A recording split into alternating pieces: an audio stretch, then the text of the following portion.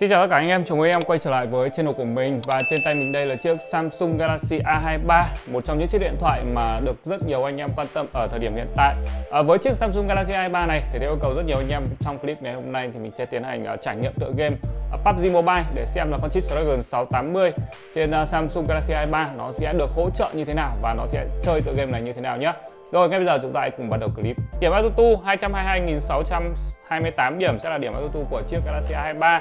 À, một số điểm à, cũng khá là ấn tượng đúng không? Khá là phù hợp với và nó cũng tương tự như những chiếc điện thoại mà được trang bị con chip Snapdragon 680 ví dụ như Redmi 10C, uh, à, Redmi Note 11. Uh, CPU sẽ là 83.093 điểm với con chip Snapdragon 680. GPU Adreno TM610 sẽ là 38.339 điểm. Phần mềm Android 12 uh, RAM sẽ là RAM 4GB trên tay mình là phiên bản RAM 4GB còn một phiên bản nữa là phiên bản RAM 6GB và hai chiếc điện thoại này hai cái phiên bản này có cái mức giá chênh lệch là 500.000 đồng. Rồi đây là một số điểm khá là ấn tượng. Tuy nhiên nó sẽ chơi tựa game này như thế nào thì ngay bây giờ chúng ta cùng bắt đầu clip. Và các bạn thể thấy ở đây chúng ta đang có 67% pin và ngay bây giờ thì mình sẽ tiến hành à, đo nhiệt độ của chiếc điện thoại này.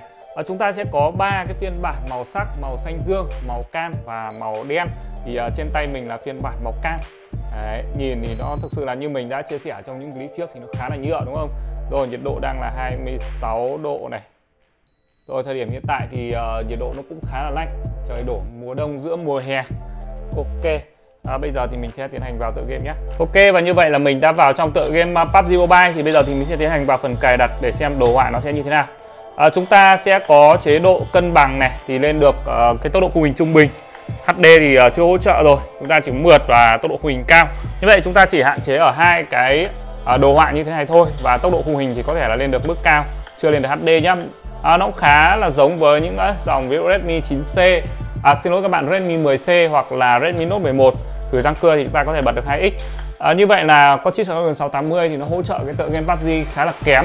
Đó còn không biết là với Samsung Galaxy A3 nó sẽ tối ưu như thế nào à, thì ngay bây giờ mình sẽ tiến hành à, bắt đầu trận đấu này.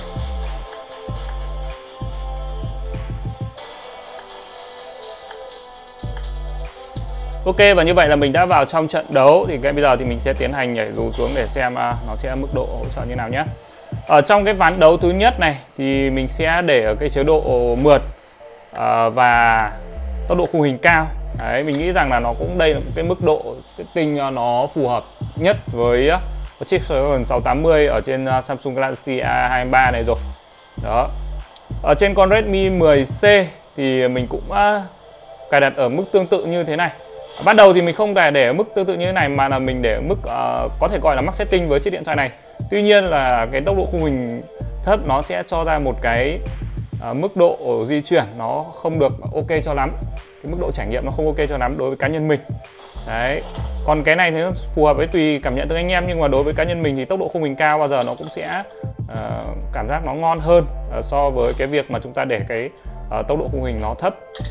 Thì uh, chơi uh, các tựa game như liên quân mobile cũng vậy thôi. Đó để uh, 60 fps bao giờ chơi nó cũng dễ hơn và nó sướng hơn so với 30 fps đúng không? Cho dù là chúng ta uh, nhìn cái uh, chất lượng chi tiết nó không được cao.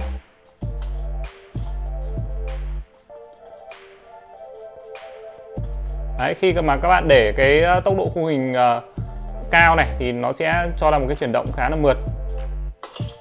Khi anh em có di chuyển uh, các cái thao tác uh, quay ngang quay dọc điều hướng súng như thế này hướng súng như này thì nó cũng khá là ok.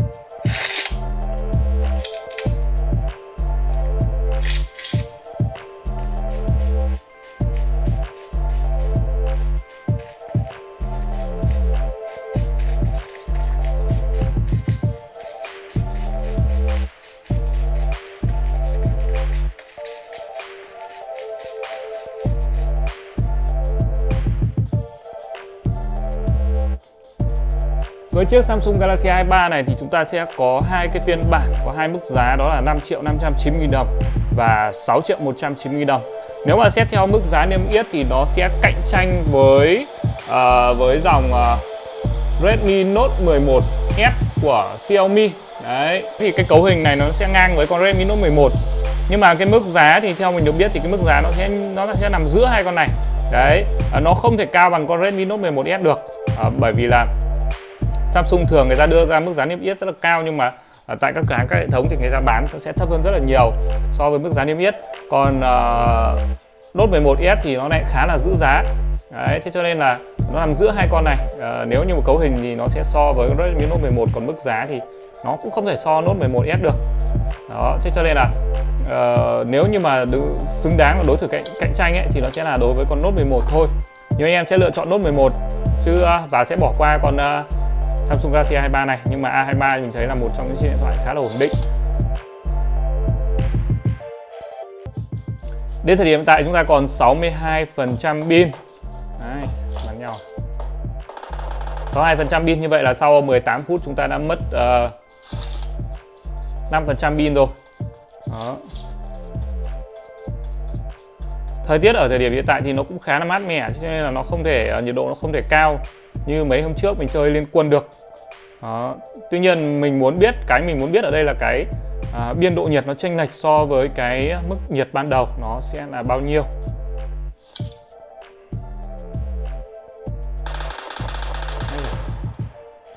Bao nhiêu chí chóe anh em ạ? Chúng gọi là vang trời.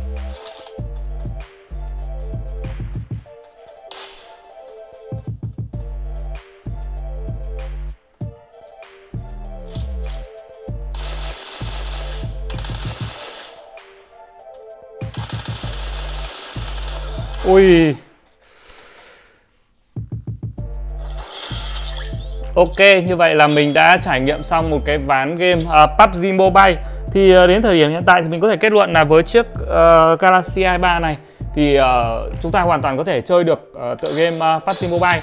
Tuy nhiên là nếu như mà xét về cái mức độ gọi là nó hỗ trợ uh, uh, cao ấy Thì nó sẽ không hỗ trợ được cái mức độ cao nha anh em. Nó chỉ hỗ trợ mức độ mượt mức độ thấp nhất và tốc độ huỳnh cao thôi còn cái mức độ setting cao hơn một chút thì nó sẽ chỉ để ở mức à, gọi là trung bình thôi.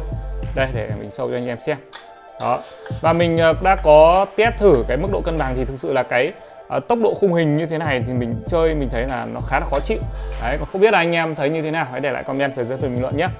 À, còn uh, thường là mình sẽ chơi ở mức độ mượt và tốc độ khung hình cao để có được một cái di chuyển trải nghiệm dễ dàng hơn. Rồi bây giờ thì mình sẽ tiến hành à, đo nhiệt độ để xem nhiệt độ nó sẽ là bao nhiêu nhé. Rồi 35,5 độ như vậy nó sẽ chênh lên khoảng 9 độ 10 độ khá là chuẩn chỉ nhanh nhé. Rồi một cái loa khá là lớn một cái màn hình ok màu sắc ok.